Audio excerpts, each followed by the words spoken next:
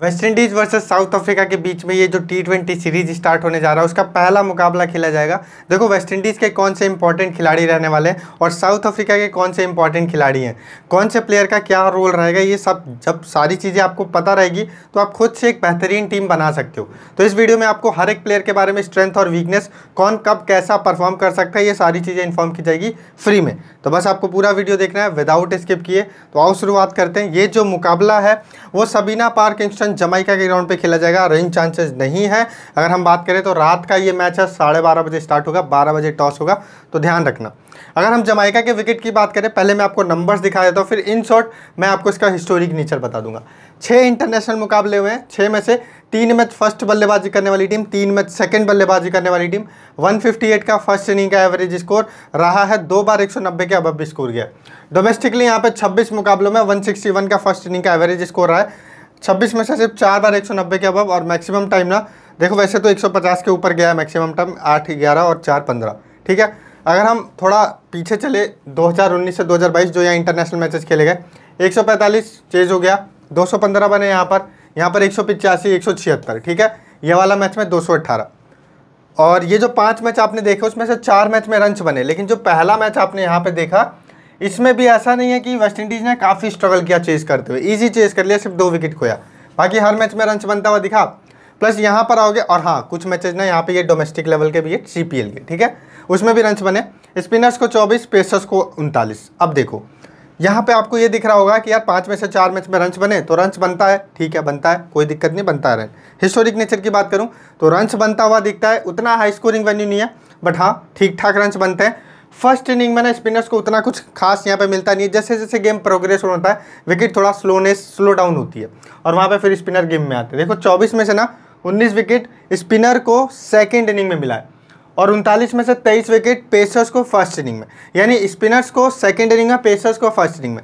ये नहीं है कि स्पिनर्स को सेकेंड, फ़र्स्ट इनिंग में विकेट ही नहीं मिलेगा। मिल सकता है, ये भी कुछ एक नंबर है।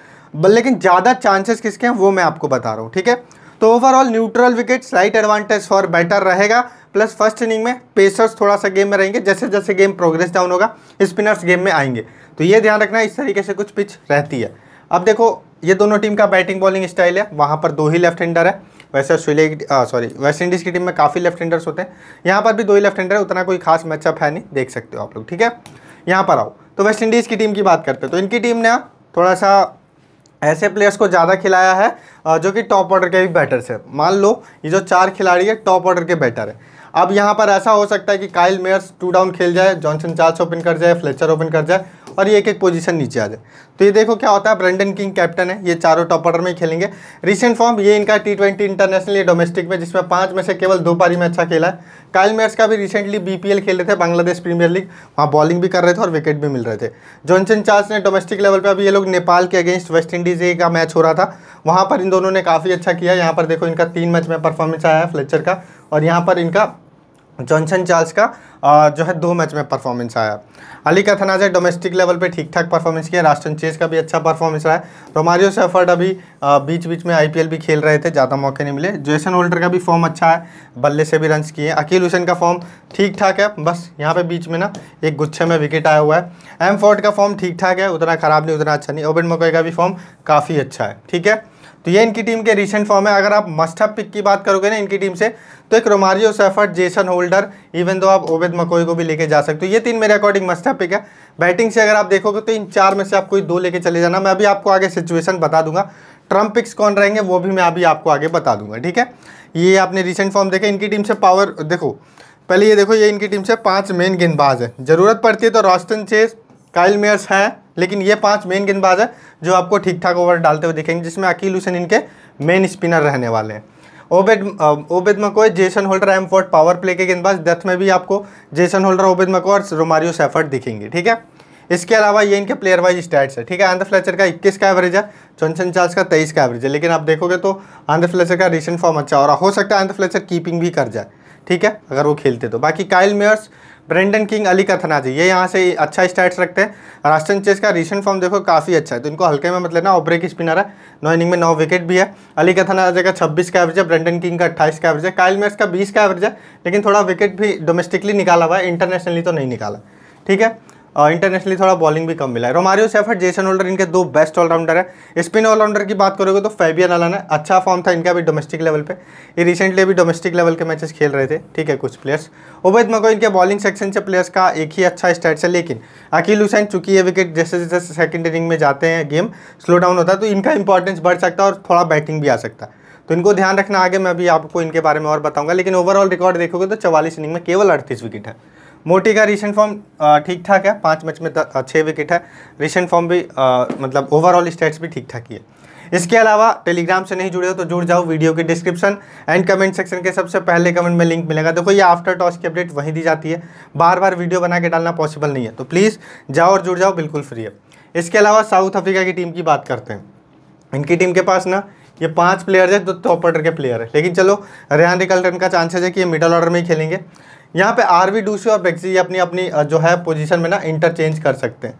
मैं ऐसा क्यों कह रहा हूँ? क्योंकि देखो आर वी डू से अगर जल्दी विकेट ये है ना, ये थोड़ा सही और मिस टाइप के खिलाड़ी है तो इनको ना पावर प्ले में मैक्सिमाइज करने के लिए भेजा जा सकता है। बाकी देखो क्या होता है। रिसेंट फॉर्म देखोगे तो रीजा इंडेक्स का दो अच्छा पारी है, तीन आप मान लो। क्विंटन डिकॉक का आईपीएल बहुत खराब गया फ्लॉप रहा है, एक ही फिफ्टी है। आरवी डीसी का फॉर्म अच्छा है, दो बड़ा स्कोर है ब्रेक्जिन ने भी काफ़ी अच्छा किया हुआ है। तीन मैच में अच्छा किया। बाकी रियान रिकल्टन का ऐसे टी ट्वेंटी कितना खतरनाक गया था, आपने देखा था। ओपन करते हैं। विहान मुल्डर का भी डोमेस्टिक लेवल का क्रिकेट काफ़ी अच्छा। अभी रिसेंटली ये लोग ना क्या खेल के आ रहे पता है? सी ए टी ट्वेंटी चल रहा है। उसमें डिवीज़न वन और डिवीज़न टू होता है। तो वो वाली क्रिकेट खेल के आ रहे हैं। उसमें इनका रिसेंट फॉर्म आपको अच्छा दिखेगा इसलिए। विहान मुल्डर दो विकेट चार विकेट एक विकेट दो, एक विकेट पचपन रन फैलू काव्य का भी फॉर्म उतना अच्छा नहीं है, लेकिन ये इंपॉर्टेंट रहते हैं ऐसे मैचेज में। बी फोर्टीन का फॉर्म डिसेंट है। उतना अच्छा नहीं तो उतना ख़राब नहीं। कोइट जी का फॉर्म भी डिसेंट है, अभी आईपीएल खेल के आ रहे हैं। नॉर्किया ने देखो ठीक ठाक अभी फॉर्म दिखाया है, उतना अच्छा नहीं। आईपीएल में रन्स पीटे थे, लेकिन फॉर्म विकेट्स फिर भी निकाले। तबरी शामसी का फॉर्म अच्छा नहीं है, लेकिन स्पेशली सेकेंड इनिंग में वेस्ट इंडीज जैसी टीम के अगेंस्ट इनको हल्के में मत लेना। इनकी टीम के पास, ये इनके दो स्पिनर रहेंगे, ये दो, ये तीन इनके तेज़ गेंदबाज रहेंगे, जिसमें इसमें ये दोनों दत्त में आपको आते हुए दिख सकते हैं इवन ये भी आ सकते हैं, ठीक है? तो ये ध्यान रखना है। इनके पावर प्ले के गेंदबाज कोइटजी नौरकिया दत्त में इनके पास कोइटजी नौरकिया और फैलू काव्य रहेंगे। अब इनके प्लेयर वाइज स्टाइट देख लो। क्विंटन डिकॉक का 130 सॉरी ये एवरेज है। ये स्ट्राइक रेट है। एवरेज लिख गया मिस्टेकली रियान डिकल्टन का 29 का एवरेज है बट ये डोमेस्टिक लेवल का है। ठीक है? रिजा हेंड्रिक्स देखो, बत्तीस का एवरेज है। रेजिव एंडूसन थर्टी फाइव का एवरेज है। ब्रेक्जी आठ का एवरेज है। इंटरनेशनली ज़्यादा कुछ खास नहीं किया बट डोमेस्टिक लेवल काफ़ी अच्छा था इनका। बाकी यहाँ से विहान मुल्डर इंटरनेशनली इन्होंने भी कुछ खास नहीं किया, लेकिन डोमेस्टिक काफ़ी अच्छी क्रिकेट है और काफ़ी अच्छी फॉर्म है। फैलू काव्यो भी अभी डोमेस्टिकली अच्छा फॉर्म नहीं है, लेकिन स्टैट्स अच्छा है। पैट्रिक रूगर मोस्टफुली नहीं खेलेंगे। कोइट जी नॉर्किया तबरिसम से नगीडी अगर कोइट जी नहीं खेलेंगे तो नगीडी खेलेंगे नगीडी नहीं खेलेंगे तो भारतमैन खेलेंगे। भारतमैन का रिसेंट फॉर्म डिसेंट है और 69 मैच में 98 विकेट से डोमेस्टिक लेवल का रिकॉर्ड है। तो अब इस तरीके से इनके प्लेयर का स्टैट्स देखते हुए चल सकते हो। अब देखो दोनों टीमों के बीच में ओवरऑल उन्नीस बार मुकाबला हुआ है। साउथ अफ्रीका ने ग्यारह बार, वेस्ट इंडीज़ ने आठ बार जीता है। अब ये जो हेड टू हेड और वेन्यू है, यानी लास्ट इनका देखो वेस्ट इंडीज़ का मैच अगेंस्ट साउथ अफ्रीका तो ये हेड टू हेड और ये वेन्यू ठीक है, इस ग्राउंड पे। तो जॉनसन चार्ल्स का 45 का एवरेज है अगेंस्ट साउथ अफ्रीका, चार मैच में एक सौ अठहत्तर रन। डोमेस्टिक लेवल पे वेन्यू पे, इस ग्राउंड पे 16 का एवरेज है। ब्रेंडन किंग 20 का एवरेज है against South Africa Andre Fletcher बारह का एवरेज है। कुछ खास नहीं है, लेकिन एंड फ्लेचर का इस ग्राउंड पे थर्टी नाइन का एवरेज है। काइल मैच का ट्वेंटी फाइव का एवरेज है। इस ग्राउंड पे तेरह के एवरेज से रन बनाए और एक मैच में एक विकेट निकाला है।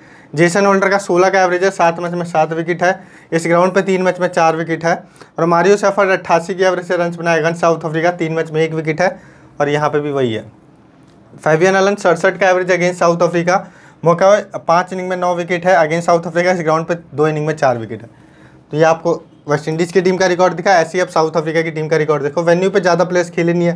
हेड टू हेड में भी ज़्यादा प्लेयर्स का रिकॉर्ड नहीं मिलेगा। रिकॉक का फोर्टी सेवन का एवरेज है और थर्टी फोर का एवरेज है रीजा हैंड्रिक्स का एंड नॉर्किया के सात मैच में आज नगीडी का छः मैच में सात विकेट है। तबरेज शमसी आठ मैच में आठ विकेट अगेंस्ट जो है वेस्ट इंडीज़ अब हम चलते हैं। नहीं, थोड़ा प्लेयर बैटल देखो। प्लेयर बैटल भी है यहाँ पर। इसमें ज़्यादा कुछ खास नहीं है। वैसे मेयर्स ने सॉरी मेयर्स ने हाँ नॉर्किया को छत्तीस गेंदों में तीन बार विकेट दिया, लेकिन ये टेस्ट मैच की बात है। बाकी सब एक एक बार आउट हुए हैं।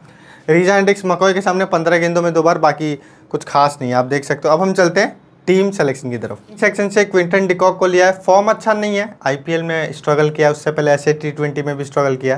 लेकिन मैंने बैक किया इनको, क्योंकि क्वालिटी खिलाड़ी है वर्ल्ड कप आ रहा है, इनको प्रूफ भी करना है। ओपन करते हैं कीपिंग बैकअप भी रहेगा। तो मस्ट पिक रहेंगे। एंड द फ्लेचर थोड़ा रिसेंट फॉर्म अच्छा है, बस इसलिए मेरी टीम में और हो सकता है विकेट कीपिंग भी यही करे अपनी टीम से। हिट और मिस टाइप के खिलाड़ी हैं। देखो वन डाउन या टू डाउन इससे ज़्यादा नीचे जाएँगे तो मैं छोड़ दूँगा। जॉनसन चार्ल्स ये भी अभी काफ़ी अच्छी फॉर्म में थे। इनका वेस्ट इंडीज़ वर्सेज नेपाल के बीच में मुकाबला हो रहा था, उसमें अच्छी फॉर्म थी। एक शतक भी आया था, लेकिन देखो, ये ना, ऐसी मज़बूत टीमों के अगेंस्ट बहुत कम परफॉर्मेंस करते हैं और इनकन्सिस्टेंट रहते हैं। तो इसलिए छोड़ दिया। हो सकता है एक अच्छी पारी आ जाए बहुत कम गेंदों में। लेकिन मैं ज़्यादा एक्सपेक्ट करता नहीं हूँ कि दस में से दो ही तीन मैच में चलते हैं मज़बूत टीमों के अगेंस्ट बाकी रियान रिकल्टन का ऐसे टी ट्वेंटी काफ़ी अच्छा गया था, लेकिन यहाँ बैटिंग नीचे रहेगा, वहाँ ओपन करते थे।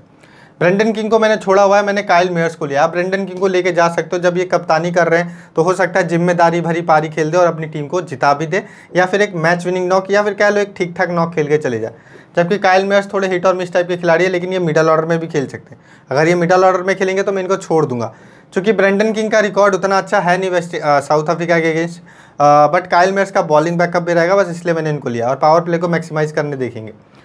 अगर आप ये जो है ओपन ना करें तो आप ब्रेंडन किंग को लेके चले जाओ। खराब ऑप्शन नहीं है, हो सकता अच्छी, पर नॉक आ जाए।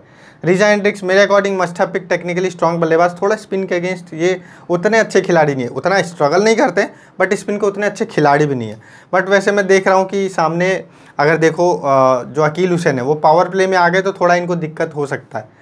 फ़िलहाल के लिए मैंने इनको लिया हुआ है क्योंकि इनकी टीम डोमिनेटिंग साइड पे रहेगी। तो ऐसे प्लेयर्स से कभी भी आप एक अच्छी नॉक उम्मीद कर सकते हो। रिजा रेजी वेंडूस हैं, ये भी काफ़ी अच्छे प्लेयर हैं और कंसिस्टेंटली रन्स बनाते हैं। वो इंपॉर्टेंट है। फॉर्म भी अच्छा है रिसेंटली मैंने ले लिया। रास्टन चेज और अलिक अथनाजे इनमें से किसी और ये ब्रिग्जा ठीक है? हालाँकि देखो अथनाजे का रिसेंट फॉर्म अच्छा है, लेकिन बैटिंग थोड़ा नीचे है, लेकिन इनको कोई ध्यान नहीं देगा और बैटिंग दोनों इनिंग में आ सकती है। तो इनको मिनी जीएल वगैरह में ज़रूर ट्राई कर लेना। तीस चालीस रन भी इनका ना आपको बहुत आगे लेके जा सकता है। रॉस्टन चेस बैटिंग बॉलिंग दोनों करते हैं, लेकिन बॉलिंग इनको ज़्यादा मिलती नहीं है इंटरनेशनली लेवल पे। फॉर्म अच्छा है डोमेस्टिकली लेकिन ज़्यादा बॉलिंग मिलने का ना ना मिलने के कारण मैंने इनको स्मॉल लीग में कंसिडर नहीं किया। ब्रिग्जा रिसेंटली काफ़ी अच्छी फॉर्म था इनका। अभी जो रिसेंटली ये खेल रहे थे ऐसे टी ट्वेंटी उसमें भी अच्छी फॉर्म थी, लेकिन यहाँ पे क्या वन डाउन आएँगे या टू डाउन आएँगे, वो भी एक देखने वाली बात रहेगी। वन डाउन आएँगे तो आप, अगर बैटिंग के लिए अच्छा विकेट है तो आप एक दो मैच एक दो टीम में कंसिडर कर सकते हो। ऑलराउंडर सेक्शन की बात करें तो यहाँ पर जेसन होल्डर और रोमारी सेफर्ड मस्ट पिक कप्तानी के भी बेस्ट मटेरियल है। वेहान मुल्डर का ना रिसेंट फॉर्म काफ़ी बेटर है अभी। किसमें? जो अभी ये लोग C S A T twenty खेलते हैं ना, उसमें। बैटिंग से, बॉलिंग से, दोनों से। और हो सकता है आपको बॉलिंग करते हुए भी दिखे फैलू काव्यो की जगह आप इनको लेके जा सकते हो। फैलुकाव्य मोस्ट प्रोबली इनसे नीचे भी आएँगे, लेकिन फैलू काव्यो का क्या है रीज़न लेने का, ये फ़र्स्ट इनिंग में आपको दथ में आते हुए दिख जाते हैं। बस इसीलिए मैंने लिया है, अगर इनकी टीम फ़र्स्ट इनिंग में बल्लेबाजी करेगी तो मैं मूल्टर को ही लेके जाऊँगा, ठीक है? या फिर आप देखो मूल्टर, अगर सातवें गेंदबाजी ऑप्शन खेले ना तो शायद मैं इनको ना लूँ, क्योंकि तब इनके गेंदबाजी करने के चांसेस वो हो जाएँगे कम। तब तब ना आप यहाँ पर चाहो तो ब्रेंडन किंग या मेयर्स में से किसी एक को लेके जा सकते हो या फिर ब्रेक्जा मतलब इन तीनों में से किसी दो को लेके जा सकते हो, ठीक है? तो वो चीज़ है अभी के लिए फेलुकाव्यो फैबियन अलान खेल नहीं रहे, क्रूगर की बात करें तो ये भी नहीं खेलेंगे मोस्ट प्रोबली यहाँ पर देखो, अभी के लिए कोयटीजी को मैंने नहीं लिया है। कोयटीजी वैसे अभी आईपीएल खेल के आ रहे हैं विकेट टेकिंग नेचर के गेंदबाज दत्त में आते हैं। लेके जा सकते हो हार्ड हिटिंग बल्लेबाजी भी कर लेते हैं। मेरी टीम में नहीं है फ़र्स्ट इनिंग की बल्लेबाजी में मैं शमसी की जगह इनको लेके जाऊँगा। अकील हुसैन, आप कोई भी इनिंग में लेके जा सकते हो। इनकी टीम से ना ये रन्स भी बना के दे सकते हैं, ठीक है? तो स्मॉल लीग के अच्छे ऑप्शन है, अगर स्पेशली इनकी टीम सेकेंड इनिंग में बॉलिंग डाले तो मेरी टीम में जगह नहीं बन पाई है। मैंने नौरकिया को लिया है और मकोई को लिया है। देखो, नौरकिया कोई भी इनिंग में मेरे अकॉर्डिंग एक मस्ट पिक रहेंगे दत्त में आ सकते हैं और अपनी टीम के लिए प्रेशर में अच्छी गेंदबाजी करते हैं। पेस है इनके पास तबरे शामसी सेकंड इनिंग में specially must pick first inning में मैं इनकी जगह कोयटी जी, या कोयटी जी की जगह जो भी तेज गेंदबाज खेले, या वो बार्थमैन हो या नगीडी हो, उनको लेके जाएँगे। नगीडी तो सेकंड इनिंग में भी अच्छे पिक रहेंगे तो अगर नॉर्किया की जगह नगीडी खेल रहे हो ना तो नगीडी को कोई भी इनिंग में आँख बंद करके ले जाओ, ये थोड़े ज़्यादा फ़र्स्ट इनिंग में ज़्यादा अच्छे ऑप्शन रहेंगे। बाकी अवैध मकोए, देखो रिसेंट फॉर्म काफ़ी अच्छा है फ़र्स्ट इनिंग सेकंड इनिंग दोनों में लेके जा सकते हो, कटर्स का प्रयोग करते हैं मिडल ओवर्स में भी विकेट निकालने के लिए जाने जाते हैं फ़र्स्ट इनिंग में दत्त में आएँगे, ये श्योर है तो आप इनको लेके जाओ फ़र्स्ट इनिंग की गेंदबाजी में। सेकंड इनिंग में आप चाहो तो छोड़ सकते हो इनकी जगह, अकील हुसैन को लेके जा सकते हो। नगीडी के बता दिया, मोटी ना कभी कभी गुच्छे में विकेट लेके चले जाते हैं, लेकिन उतना एक्सपीरियंस नहीं है। छोड़ दिया बी फोर्टीन को ज़रूर ट्राई कर लेना। देखो, अगर इनकी टीम जो है पावर प्ले में इनको गेंदबाजी दे देना स्पेशली इन सेकंड इनिंग तो ये पावर प्ले में ही ढा सकते हैं वहाँ ब्रेंडन किंग को। वो भी स्पिन के उतने अच्छे खिलाड़ी नहीं है, ना वहाँ काइल मेयर्स है। वो भी स्पिन के अच्छे खिलाड़ी नहीं है और जॉनसन जाल्स ये सब हिट और मिस टाइप के खिलाड़ी है। तो अगर ढह गए ना तो इनको गुच्छे में विकेट मिल सकता है। तो उस सिचुएशन में अगर आप वैसे सोच के टीम बना रहे हो तो इनको ज़रूर ले लेना। भारत में अगर खेलते हैं तो डोमेस्टिक लेवल पे ये दस में बॉलिंग करते हैं। आपको पता होगा एस के लिए जो वो जीती थी ऐसे टी ट्वेंटी में, उनके लिए दस में बॉलिंग करते हैं लगातार। बाकी नीचे समर जोसेफ, देखो अभी आईपीएल खेला था पेस है इनके पास, लेकिन वो लाइन लेंथ पर अगर कंट्रोल रहे तो अच्छी खासी बॉलिंग करके जा सकते हैं। एम फोर्ड का भी फॉर्म अच्छा है, लेकिन कभी भी bowling option cut bowling over कर सकता है। तो ऐसे प्लेयर्स पर मैं ज़्यादा ध्यान देने नहीं कहूँगा ग्रैंड लीग में ही ध्यान देना। अभी के लिए जो टीम हो रही है, वो कुछ इस प्रकार से, कप्तानी मैंने होल्डर वाइस कप्तानी मैंने रोमारियो सैफर्ड को दिया। आप इसको रिवर्स भी कर सकते हो। अगर ये बैटिंग में ऊपर आएँगे तो हम इन्हें कप्तान कर देंगे, इन्हें वीसी कर देंगे। इसके अलावा आप क्विंटन डिकॉक को भी कैप्टन वाइस कैप्टन कर सकते हो, कीपिंग करेंगे अपनी टीम से, प्लस बैटिंग करेंगे। लेकिन दिक्कत यह है कि इन्फॉर्म नहीं है, इसलिए मैंने छोड़ दिया कप्तान वाइस कप्तान नहीं लिया, एज बैटर लेके जा रहा हूँ। सॉरी ये मिस्टेकली जॉनसन चार्ल्स मेरी टीम में आ गए, यहाँ पर ना जो है अंदर फ्लचर है मेरी टीम में, ठीक है? ध्यान देना। बाकी यहाँ पे मैंने आपको बताया नॉर्किया की जगह हम कब चेंज कर सकते हैं, फेलुकाव्यो की जगह तबरे सामसे की जगह। आप यहाँ पे अकील हुसैन को कब लेके जा सकते हो मायर्स की जगह पे, ब्रेंडन किंग को कब लेना है। सारी चीज़ें वीडियो में समझाइए हर एक प्लेयर के बारे में। अगर आपने पूरी वीडियो देखी होगी ना तो आप खुद से अपनी एक अच्छी टीम बना पाओगे स्मॉल लीग की। बाकी ये देखो स्मॉल लीग की टीम है अप टू पच्चीस मेंबर इसमें अगर आपको चेंजेस करने हैं ग्रैंड लीग की टीम बनानी है तो Johnson Charles Andre Fletcher Coetzee McCoy Wiaan Mulder Breetzke सबके स्ट्रेंथ और वीकनेस बताइए अकॉर्डिंगली इनको ट्राई करो। प्लस ये जो छः ऑप्शन है ना कैप्टन वाइस कैप्टनसी के, इन पे कैप्टन वाइस कैप्टन रोटेट करो। आपकी ग्रैंड लीग की टीम अच्छी बन सकती है। और अगर आपने ग्रैंड लीग में रैंक अच्छा लेके आया तो ये ध्यान रखना कि आपको उसमें ना लग भी चाहिए होगा। आपने स्किल्स की यूज़ तो की है, लेकिन लग फैक्टर भी चाहिए, नहीं तो मैं ही खुद लेके आ जाता रैंक तो होप करता हूँ मैंने आपको इस वीडियो से काफ़ी कुछ सिखाया यदि सिखाया तो एक लाइक ज़रूर कर देना। चैनल पर नए हो तो सब्सक्राइब कर देना। मिलते हैं अगली वीडियो में, तब तक के लिए जय हिंद।